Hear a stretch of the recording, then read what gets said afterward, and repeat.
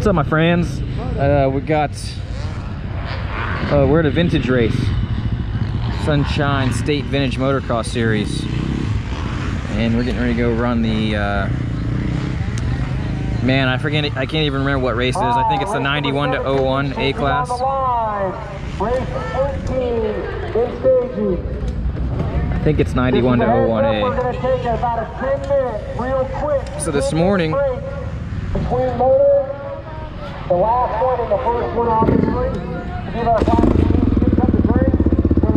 Uh, I raced practice. I raced practice. I did five laps of practice this morning, and the track is soaking wet. It's, it was pretty gross. And uh, I had a flat tire, and I didn't know throughout the whole moto. I just thought it was handling like crap because of all the mud. But I definitely had a flat rear tire, so I found a guy to change it. I don't like changing them, so I paid somebody 20 bucks to change it. And now I got a good tire, so we'll see if we can make moves.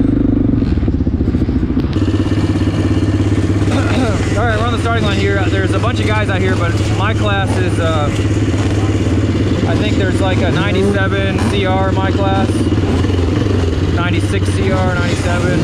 Then there's a guy over there in an RM 250 that was really killing it this morning in practice. So uh, in practice this morning, it's really they tamed this down for the uh, vintage race, and uh, like al- almost all the doubles are gone. There's a double back there, but they put this really weird table in front of it that makes it uh, pretty hard to do on an old bike. Then there's a finish line double, and I was jumping that this morning with a flat tire. It was it wasn't worth it. The, the face of it was really slippery, so I don't know if we're going to be doing that. Sorry, to disappoint you. I'm gonna do a second gear start.